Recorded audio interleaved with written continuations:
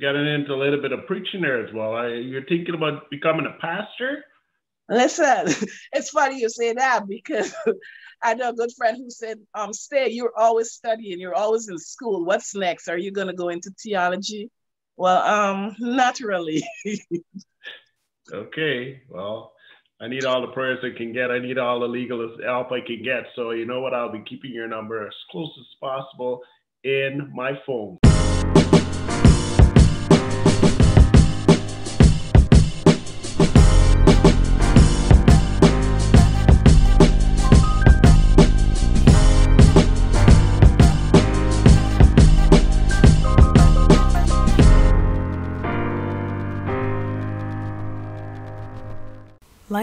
Subscribe, and share to Voices of Linden TV. Welcome to another edition of the Let's Talk Show. I'm your host, Andrew James, and tonight I'm pleased to have with us in studio via Zoom Miss Stay Allen, a former Mackenzie High School student, year 1981 to 1987. Miss Allen is currently a senior program analyst in the state of New York. Please advise that Miss Allen was just also, congratulations, Miss Allen. You were just successful in your bar examination in the state of New York. I'm pleased to welcome Miss Stay Allen. Thank you, Andrew. Thank you.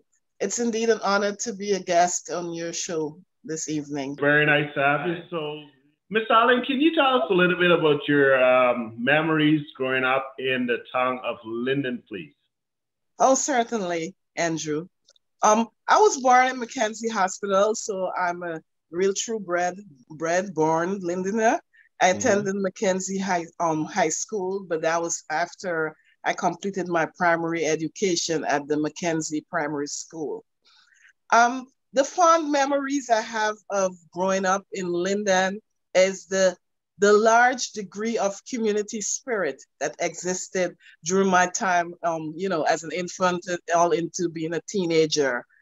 I recall clearly that um, families and neighbors all acted as though they were relatives of each other. I can recall that um, the home where I grew up with my grandparents, the doors were seldom locked.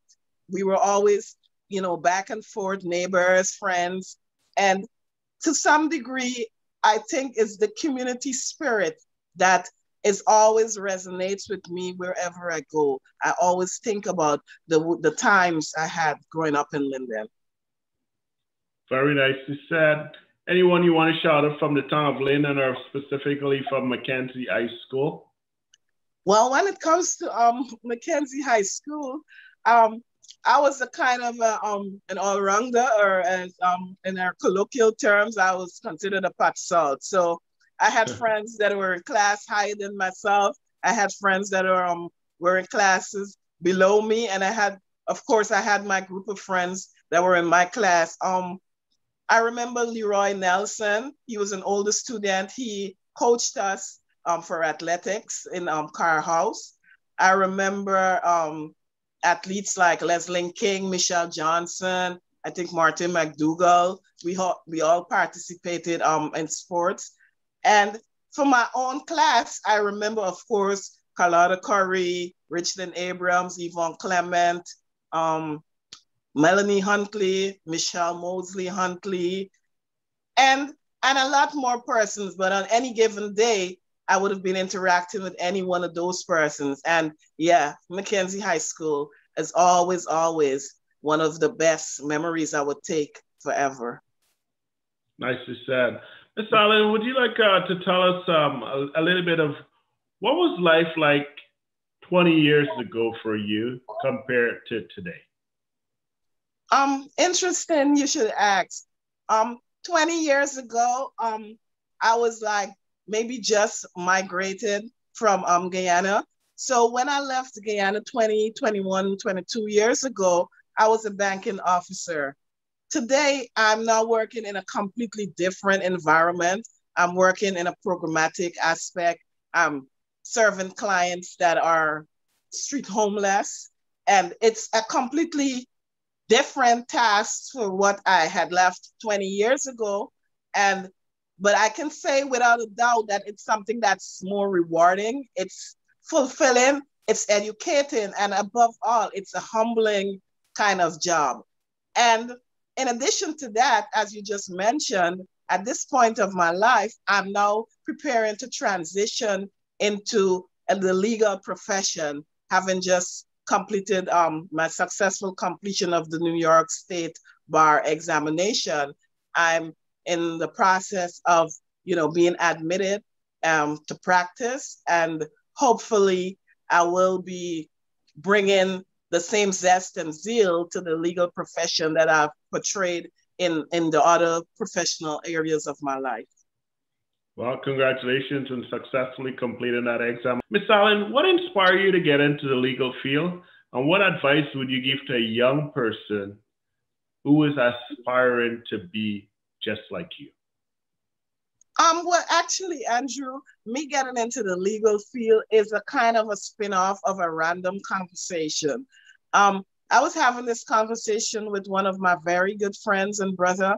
Um, he also is a former Mackenzie High School student, Robin Gittens. And I was explaining to him, we were talking about my passion, you know, for advocacy for others and in terms of the way I feel service oriented type of person I was. And he suggested, say, why don't you just be a lawyer? Um, you know, that's the ultimate. There's no other profession by which you can advocate for others and ensure that justice and is, is brought to the underserved. And I listened to him at the end of that conversation. I left unknown to him. I went and did some research. I took the um the LSAT, which is the entry exam you need to be admitted to um law school. Mm-hmm. And then I got admitted. And then I called I called him and I said, Robin, I'm a law student. So that was um 2016. And here I am now, four years, five years later, co- successfully completing that journey and now in preparation to engage on a new level of advocacy because that's what I think this is about. No. And with respect to what advice I would give to young persons who would um, aspire to be like myself, first and foremost, I'd be honored, I'd be humbled if someone listening to this in after listening to this interview today would decide that yeah if she can do it i can do it because that's my goal my goal is to inspire others so i would say to young people we hear all this talk about self-love. I would say yes let's talk about self-empowerment. Let's focus on the self because it's okay to focus on the self and we can focus on the self without being selfish and without and at the same time we can still be selfless because if you're not empowered if you're not self-empowered how then are you able to help others? So i would say to the young people keep your eyes on whatever your goal is focus on improving yourself yourself must be the priority and when once you are elevated, once you you take yourself to a next level, then you can assist someone else. You can bring someone from where they are to another level. So I say all this to say that the self is the first and the most important priority. And after the self, then we can help others. But at the same point in time, I do not want um, someone to interpret this to mean that the self means you must be arrogant or you must be ignorant of the fact that there's a supreme being who is the omnipotent person above all others. Amen. We're getting into a little bit of preaching there as well. I, you're thinking about becoming a pastor? Listen, it's funny you say that because I know a good friend who said, um, stay, you're always studying, you're always in school. What's next? Are you going to go into theology? Well, um, not really. okay. Well, I need all the prayers I can get. I need all the legal help I can get. So you know what? I'll be keeping your number as close as possible in my phone. So your transition is from the big bank in Guyana to working with the homeless as a program analyst. And now you're looking into getting into the legal fee advocated for the underprivileged in New York. Congratulations. Nice storyline. Thank you, Andrew. Thank you. I'm humble and blessed. Way to go. Way to go. Very proud of you. Um, What advice do you think we can give to a young person in Guyana as a group or as an organization to influence change in that individual life? Like what advice or assistance through your own lens? Um, well, through my lens, uh, just I think a few years ago I was um, a participatory member of the um the MHS Alumni Association that we had functioning out of Brooklyn and mm-hmm. we made a lot, you know, a number of successful ventures we did, but um, it kind of fell by the wayside because persons got carried away doing, you know, their own personal um personal work. Like I myself, I went off into to the classroom, so I could no longer focus in that aspect. But the what I would like to see um coming out of us as a group as a matter of fact, I think I just saw um, Melanie Gaskin Benjamin asking the question on the MHS Reconnecting Facebook page. What do we? What's the purpose of this group? I um I kind of would like to see something of like a big brother, big sister type of program, um, because that group is ripe with talent. I can say that. As a matter of fact, I was actually um, very um, elated when I saw one of your earlier interviews where you interviewed someone that was a barber. Um, so I say this to say that no matter whatever is the career path that you're going to choose, you can be successful in that path. And we have all those different talents sitting in this bucket called the MHS Reconnecting page. If we can maybe match up, pair up each one of us with some student or something, and we can use the forum to give them pep talks, maybe give them encouragement on a one-on-one basis. And in some way, we might be able to positively influence their decision makings in terms of their maybe educational choices and their career choices, and maybe to a lesser extent, some of their social choices. Nicely said. Miss Allen, I'll put you on the spot and have you be the voice of every single Mackenzie High School past student. Give a tribute to one teacher, it could be any teacher, or give a vote of thanks on behalf of every past student of Mackenzie High School. The floor is that would be yours. that would be putting me on a spot because Definitely, because there are so many different teachers that I would like to give a shout out to personally. I don't know if the the um the sentiment is shared by each and every one of the other, you know, alumni, but for me, the persons that I know were really a push to getting me to where I am today. It would be remiss of me to acknowledge my successes today, actually, without acknowledging their efforts. So I would say, for one, Mrs. Gloria Britton, she was um, senior mistress and then headmistress during my tenure at the um, Mackenzie High School. She was very, uh, very, very, very instrumental in pushing me towards doing certain subjects when I tried to dodge them for the exams. Then, um, secondly, there was um, Mr. Johnson. I can't remember his first name for some reason. He taught accounting, and then he was also the headmaster mm-hmm. in the class um, at the time. He too was instrumental in his own or an orthodox manner in inspiring me to do better because I was like maybe at the highest point of my academic performance. And he would tell my grandmother, Oh, if she does not improve, I'm not promoting her. So for me at that time, I was like, what is he saying? Is he crazy? I'm mm. doing best. I'm doing the best. But now looking back at it, that was just his unorthodox manner and method of trying to encourage me to be the best that I can be. And um, thirdly, I think I would also have to thank Brother Remington Williams, uh, Brother Remy, as he's called. I I remember today when I was fin- completing Mackenzie High School, when I was leaving the sixth form, um, upper sixth, Brother Remy gave me a handwritten note. And this note was a note, it was kind of giving me some kind of instructions on what to expect in adult life. at telling me that I'm going forward into the world of work. I'm going forward into the world of adulthood. And one the one sentence that's that sticks out to me to this very day was beware of the wolves in sheep clothing.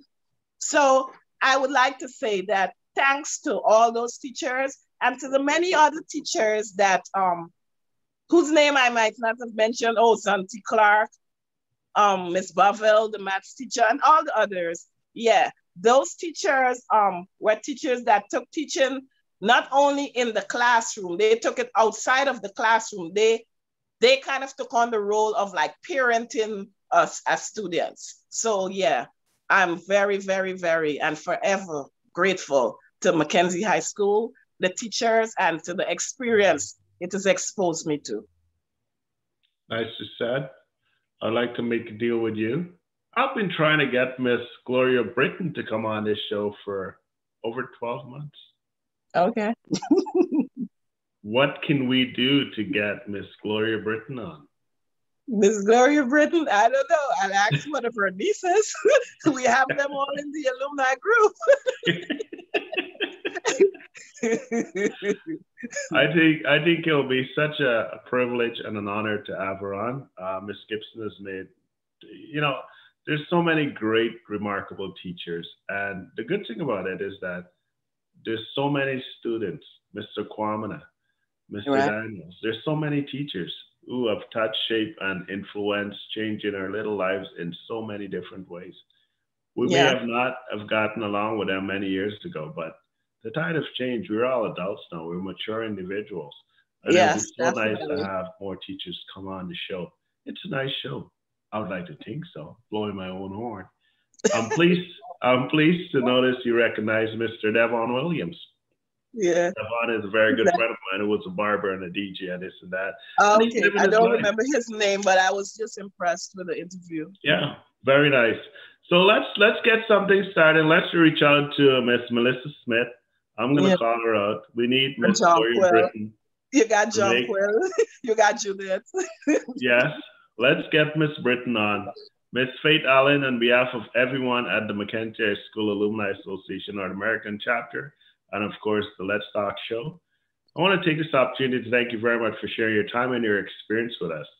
It's been a very nice conversation. Thank you for your friendship, and I look forward to talking to you in the near future. Good night. Thank you so much, Andrew. And um, to just give one step back, um, when you asked what uh, um, I would like to see going forward or a way that we could better um, help students. Um, one thing that struck um, stuck with me in um, my experience is that during the high school period, the one thing they never really taught us is some of the experiences, the adult world experiences that we should um, like prepare our minds to encounter because mm-hmm. I was naive as a student and I thought that once you have your education, that's all it takes to succeed. But there are many other social, political factors and other stuff that maybe we can coach during, through the same Big Brother, Big Sister program. We can enlighten students about all these other different dimensions that they are to life at, you know, outside of just your education and your school life. Very nice to say. I think we'll leave it there. Famous word of Mr. Thomas dress the way you want to be addressed, and yes. your attitude determines your altitude in life. Correct. With your academic achievements and so on. Good night, Miss Allen. Stay uh, stay safe. Follow all the public health guidelines, and uh, we hope to talk to you again. Yes, thank you, future. and you do the same. Good night. God bless you. Thank you. God bless. Bye.